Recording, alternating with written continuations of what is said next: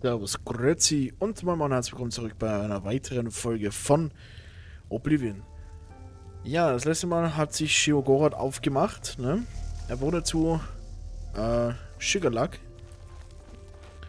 sozusagen. Und jetzt ist das Reich ohne Anführer. Und ich muss jetzt mit Haskill hier besprechen, wie es Ist mir wie immer ein Vergnügen. zukünftig weitergeht. Er ist weg, aber noch besteht Hoffnung. Wir haben hier eine seltene Gelegenheit, aber ich zögere, das zu tun, was getan werden muss.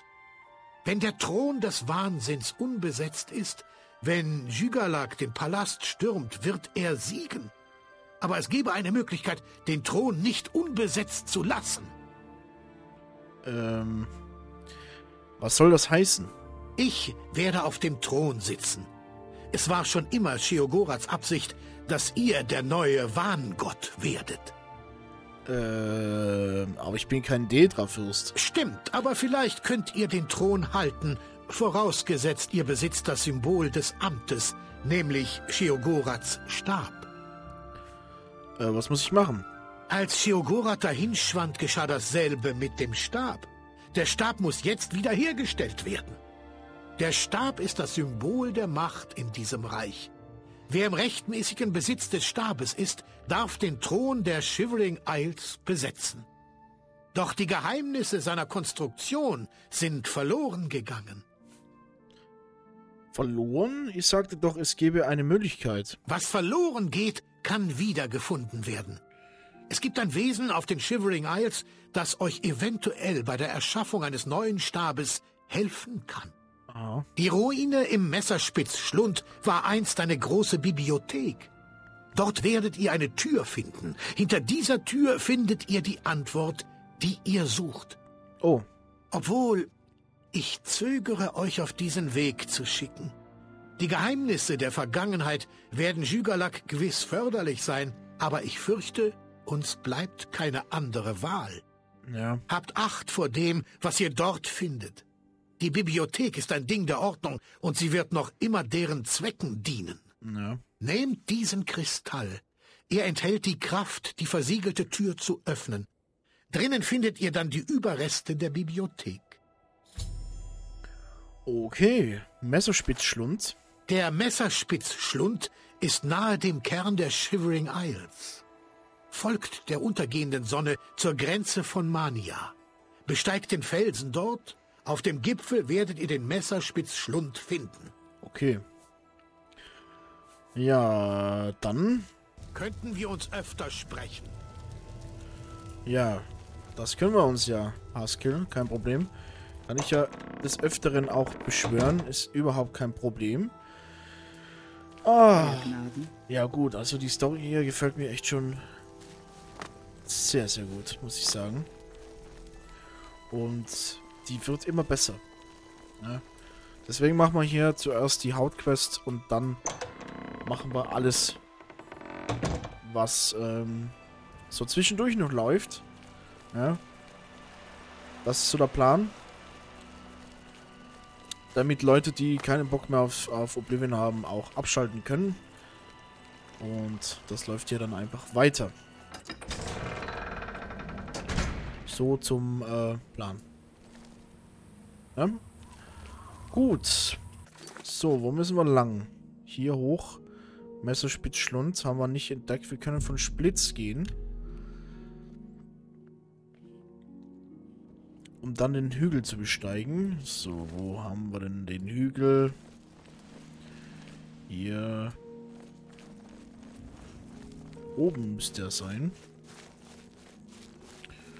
Okay. Ja, es wird jetzt wahrscheinlich nicht so äh, melodramatisch sein, wenn ich hier rauf spaziere. Da ich hier von irgendwelche von irgendeinem Standpunkt ausgehe. Aber es kann durchaus einen Charme haben.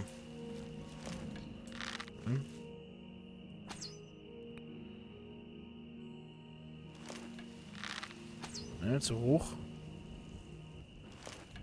Er hat getroffen, ne? Ah. Dann Lass ihn mal kommen, Kollegen.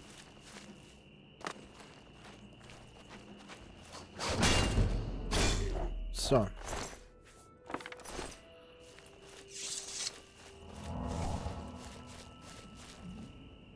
Ja, hier unten haben wir wieder einen Ordnungsobelisken, aber das soll uns jetzt hier nicht stören. Hier drüben ist eher das, wo wir hin müssen. Da ist aber auch ein Skalon hier. Den könnten wir unter Umständen nach unten boxen mit einem guten Schuss. Nice. Sehr schön. So habe ich mir das vorgestellt. Und hier wird wahrscheinlich diese Tür sein. Und ich brenne darauf. Wir haben übrigens 420 erreicht, ne? Wollte ich nur noch so sagen. Shiogorats Bestrafte. Todesurteil. Müssen aufpassen. Ich wollte eigentlich noch mal äh, hier äh, in meinem Dings rein Zeug abgeben. Das habe ich jetzt natürlich wieder vergessen. Naja. Gut, also das müsste hier unten irgendwo sein, oder? Ich dachte, vielleicht müssen wir hier den Schlüssel hinhalten und es kommt hier eine Tür. Schade. Äh, Todesurteil nochmal lesen. Moment. Shiogorat, Fürst des Wahnsinn, Herr des Nimmerda, Herrscher über die zitternden Inseln, tut am heutigen Tag folgenden Erlass und kund und zu wissen. Robert Wisniewski, Bürger der zitternden Insel, Einwohner von Bliss und ehrwürdiger Verrückter, hat die Gesetze und Abkommen der zitternden Inseln gebrochen und die erhabenen Person des Fürsten durch folgende Taten beleidigt. Versuch, sich einen Bart wachsen zu lassen, eine in den Augen des Fürsten sehr ungehörige Tat. Weiterhin wird verfügt, dass dieser Bürger aufgrund seiner Taten das härteste Strafmaß verdient hat. Die Bestrafung soll baldmöglichst erfolgen und gestaltet sich in Abhängigkeit von den Launen und Einfällen unseres Fürsten Sheogorats. Ah, ja, ja, okay. Gut. Ocean of Night Eye. Okay. Ist das doof, wenn wir hier runterlaufen? Wahrscheinlich ja, aber ist mir jetzt egal. So. Immer schön gebückt gehen. Dann kann einem ja fast nichts passieren. So hat man das hier eben auch gelernt.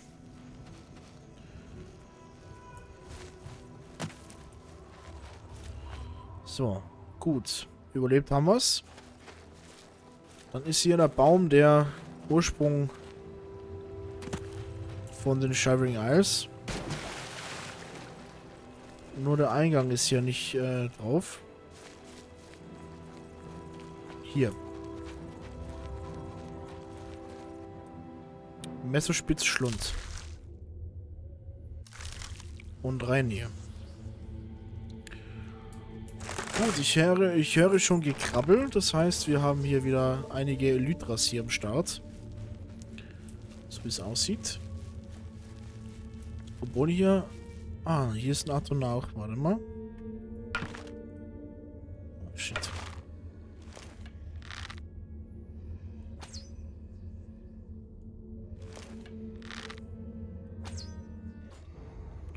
Oh, der ist sauer.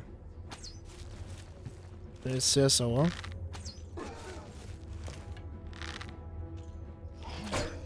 Boah. Alter. Okay.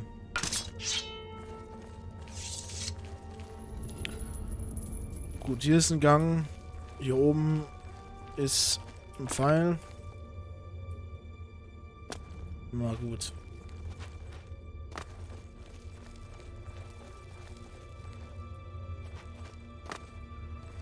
Okay, ja. Sieht sehr interessant aus hier.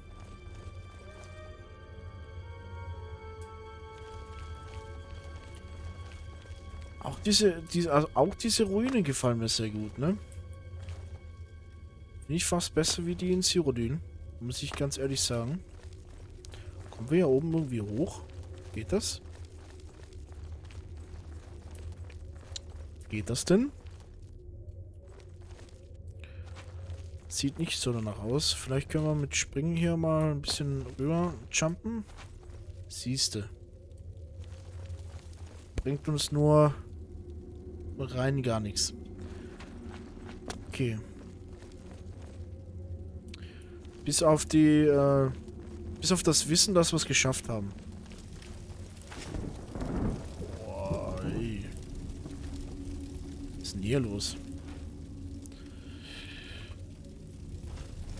Der sieht tot aus. Ist der tot? Dius. Euer Gnaden, ich habe auf euch gewartet. Die Ereignisse dieses Tages, wie die aller Tage davor und danach, sind mir bekannt. Für Dios und Myteria gibt es keine Überraschungen. Ah ja. Sheogorath ist gefallen. Und ihr sucht nach Mitteln, die Machenschaften des Prinzen der Ordnung zu vereiteln. Ihr sucht den Thron des Wahnsinns.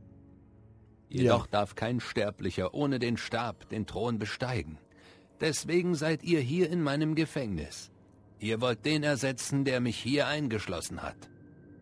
Wenn ihr den Platz von Sheogorath einnehmen wollt, dann fragt mich, was ihr wollt. Äh, Dios. Ihr habt ein Buch erwartet. Ein altes Buch, das alle Geheimnisse enthält, die ihr sucht. Doch stattdessen habt ihr mich gefunden, das letzte Überbleibsel. Individualität ist eine Illusion. Die Einzelheiten meiner Existenz haben nicht mehr Bedeutung als die Geschichte eines Steins. Aber wenn ihr darauf besteht, ich war einst Bibliothekar der großen Bibliothek von Jigalak. Äh, erzählt mir mehr von der Bibliothek. Die große Bibliothek stellte den Höhepunkt der Logik und des folgerichtigen Denkens dar.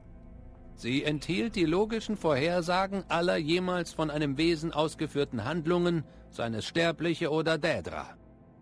Jede Geburt, jeder Tod, der Aufstieg Tiber Septims, das Numidium, alles. Alles vorhergesagt mit Hilfe der Formeln, die sich in Jygalaks Bibliothek fanden. Als Sheogorath die Bibliothek entdeckte, ließ er sie niederbrennen, da sie ihm ein Gräuel war und er beharrlich behauptete, die persönliche Wahl widersetze sich logischer Vorhersage. Nur ich bin von dem Wissen übrig, das einst in der großen Bibliothek Jygalax enthalten war. Okay, wie habt ihr überlebt? Nach jedem Zyklus des Grauen Marsches hat Sheogorath jede Form der Ordnung auf den Shivering Isles vertrieben oder ausgelöscht. Ich allein habe überlebt. Sheogorath kann sich nicht überwinden, das Wissen zu zerstören, das ich besitze. Mhm. Stattdessen hat er mich an diesem Ort eingesperrt und mir verboten zu sterben. Ich habe kein anderes Wesen gesehen, bis das Schicksal, wie vorherzusehen war, euch zu mir gesandt hat. Ja, okay. Ich habe genug gehört. Wie ihr wünscht. Messerspitzschlund. Der Messerspitzschlund ist mein Gefängnis. Einst beherbergte er die große Bibliothek und damit das gesammelte Wissen dieser Welt. Doch er spart mir euer Mitleid. Meine Gefangenschaft ist ebenso wenig von Bedeutung wie meine Unsterblichkeit. Mhm. Zeit und Raum existieren nicht. Es sind Konstrukte geistesschwacher Sterblicher, die versuchen, die Welt um sich zu kategorisieren und zu begreifen. Wärt ihr einer der wenigen Glücklichen, so würdet ihr das eines Tages verstehen und akzeptieren. Aber das seid ihr nicht. Daher werdet ihr es nicht können. Okay, Stab von Shiogorath. Ich kann die physische Hülle des Stabes erschaffen, aber die göttliche Essenz muss anderswo gefunden werden. Aber die Apotheose ist keine einfache Angelegenheit und die Herstellung des Stabs ist keine einfache Aufgabe. Ich benötige zwei heilige Gegenstände, um sie zu vollbringen. Oh, erzählt mir etwas über den ersten. Die Shivering Isles bergen viele Geheimnisse, aber nur wenige wurden noch nie von sterblichen Augen gesehen. Der Stab ist ein Werkzeug von großer Vision und verlangt daher das Auge von jemandem, der eines dieser verborgenen Geheimnisse selbst gesehen hat. Ziirta bewohnt die heulenden Hallen von Mania. Sucht sie auf und bringt mir das Auge, das gesehen hat, was kein anderes je erblickte. Okay. Zirter. Die Bäume und Zweige dieses Reiches nähren sich von einer tiefen Quelle des Wahnsinns und des Mysteriums. Einer der ältesten Bäume, der Baum der Schatten, steht in den Hallen von Milcha. Milcha ist ein Ort der Ruinen, der Wurzeln und der Manie. Geht dorthin und bringt mir einen Zweig dieses Baums. Aber seid gewarnt, der Baum wird seine Geheimnisse nur demjenigen preisgeben, der sie verdient hat. Boah. Äh, so, dann muss ich also beide Teile suchen? Ja, nur dann kann ich einen passenden Behälter erschaffen, der die dem Fürsten dieses Reiches innewohnende Kraft aufnehmen kann.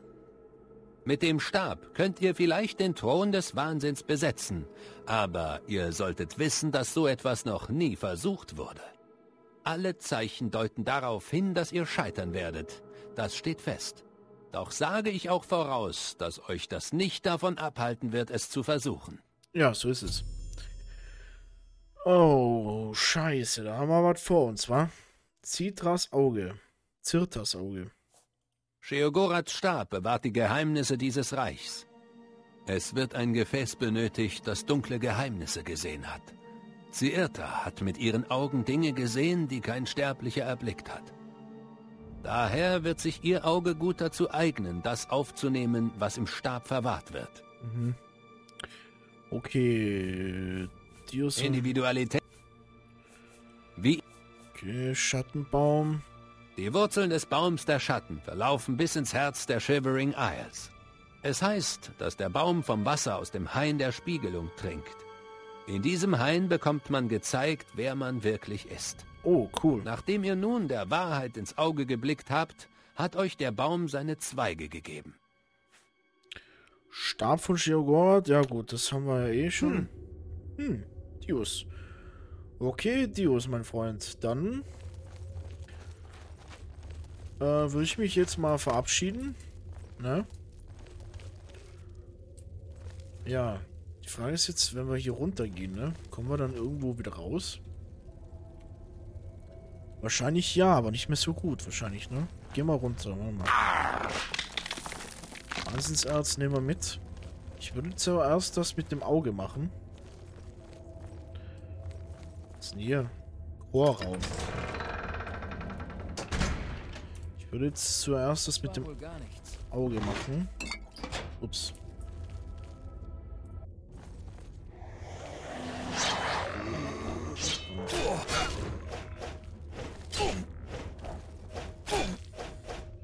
Was haben wir denn hier?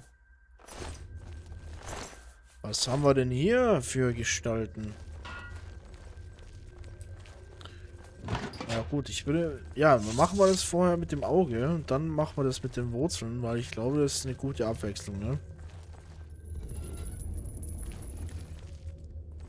Was? Wo seid ihr hin? Kommt Nirgendwo. Ebenholzpfeil. Macht 8 Schaden. Gut. Wer ist da? Deine Mutter. Ah, das hat sie jetzt umgehauen, ne?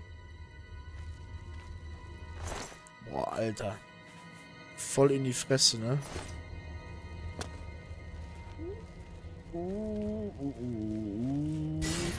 Scheiße, jedes Mal dieser Pilz, ne? Shit, ey. Ah, hat's mich jetzt geschockt. Da drüben haben wir Bernstein. Boah, ne. Was? Wo seid ihr hin? Nirgendwo. So.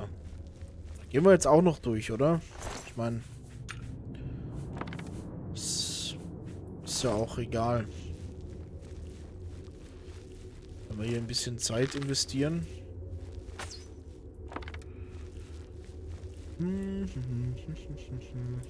Hm, hier ist nochmal Erz. Aber jeder will rauf. Ich denke nicht. Boah. Deswegen gehen wir vorher hier mal rauf. Kurz.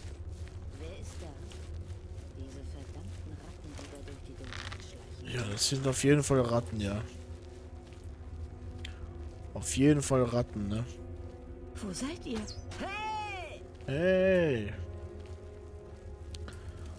Ja gut, diese kleinen äh, Apostel hier, die kann man schön wegmachen mit dem Fallen. Das freut mich. Ich glaube, hier geht's runter, wo wir die zwei schon erledigt haben.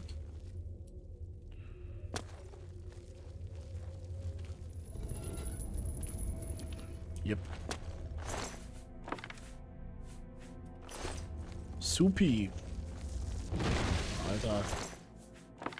Die Scheiße wieder, ne? Da nehmen wir das Zeug und laufen wieder raus, weil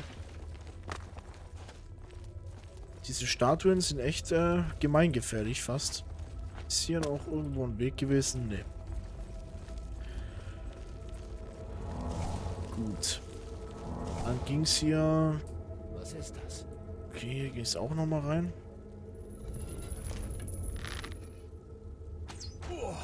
Boah. Ja gut, da ist noch einiges hier. Ist noch einiges los hier, ne? Danach haben wir wieder hier. Moin Kollege. Da ist auch noch einer. Zack. Dann müssen wir mal kurz uns umschauen. Dass wir hier nicht die Ding verlieren. Die Orientierung. Aber mittlerweile, oder so wie es aussieht, sind wir gar nicht so schlecht unterwegs. Das Problem ist nur, dass wir hier auch wieder nicht unbedingt äh, viele Pfeile wieder zurückkriegen. Das ist sehr ärgerlich.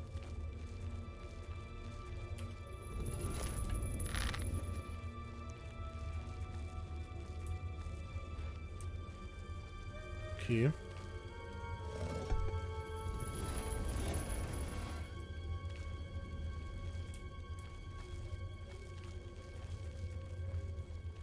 Was ist denn da jetzt? Die.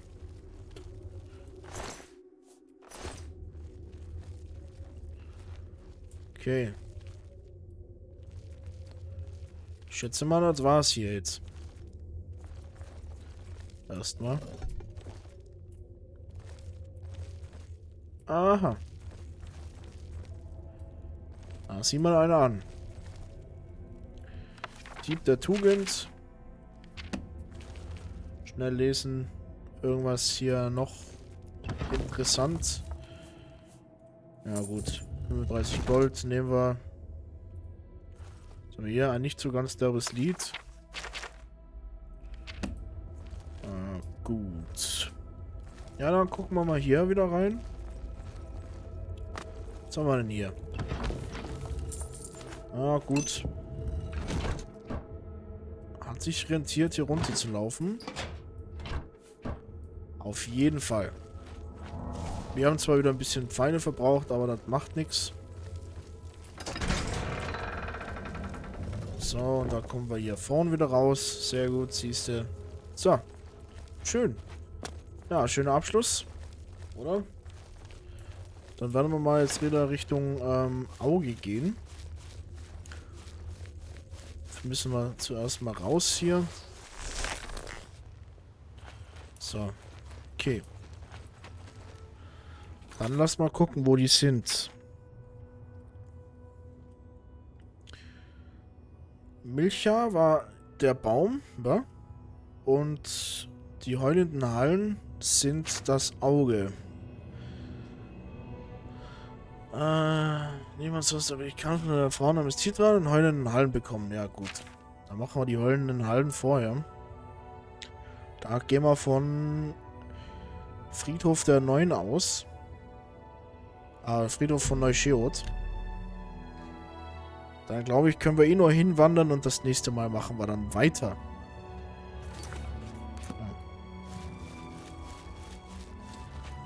Ja, das Wetter ist jetzt nicht so super.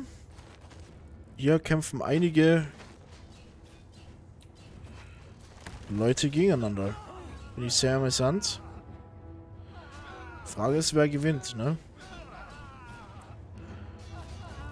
Alter.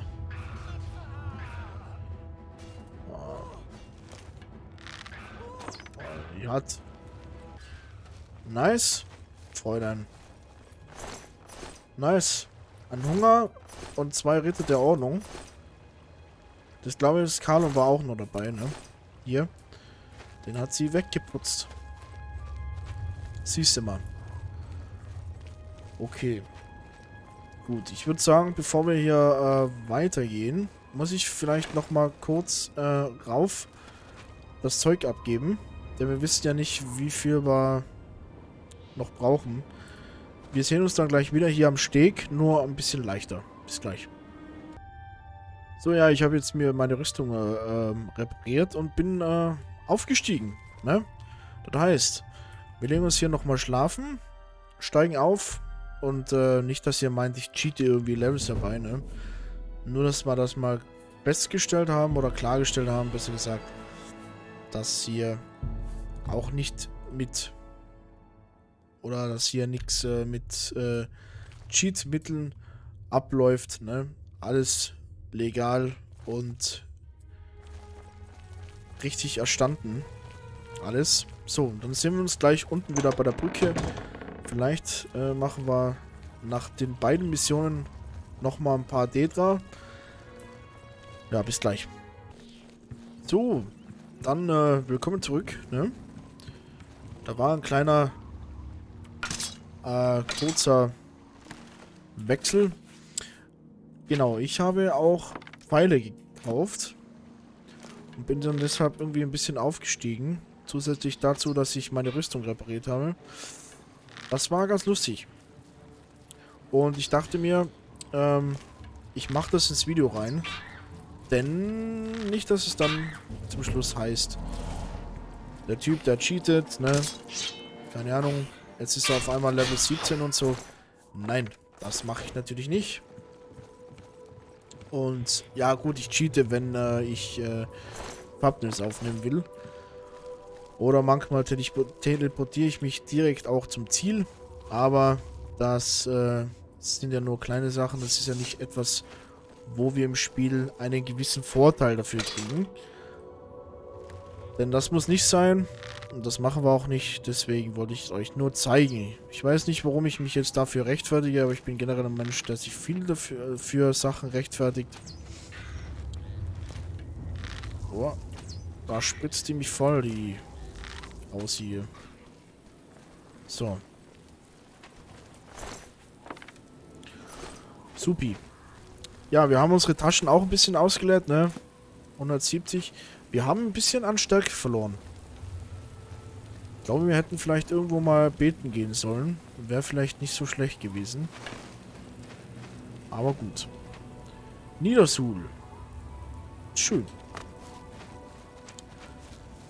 Genau, das können wir vielleicht das nächste Mal, oder das können wir das nächste Mal machen, wenn wir Detra-Quests machen. In irgendeiner Kapelle beten gehen, dass unsere Buffs irgendwie aufgehoben werden. Ich bin mir nicht sicher, ob wir welche drauf haben. Ja, haben wir. Haben wir ziemlich was drauf, ja. Normalerweise könnten wir nämlich über 30, äh, über... Was wollte ich jetzt sagen? Über 300 nehmen. Also 330, glaube ich, waren es. Jetzt sind es nur mehr 300. Ach, ich bin am Dach der heulenden Hallen. Schön.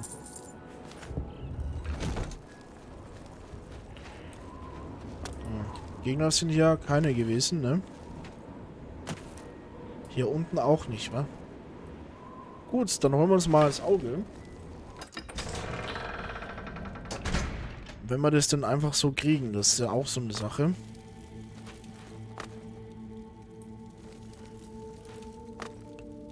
der den Mund auf? Oder ist es nur... Ne. Okay.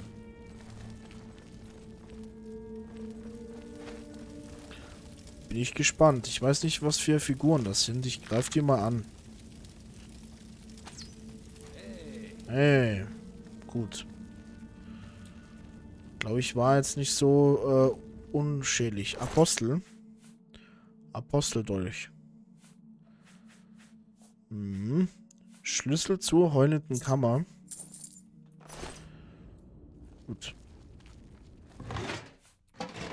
Der Pöstel können wir was anfangen. Aber erst das nächste Mal das Auge. Also wir holen uns das nächste Mal das Auge. Ähm, also morgen. Deswegen machen wir hier einen kleinen Cut und dann gibt es morgen wieder weiter. Vielen Dank fürs Zuschauen. Wir sehen uns dann morgen wieder. Bis dahin, bleibt gesund und auf Wiederschauen.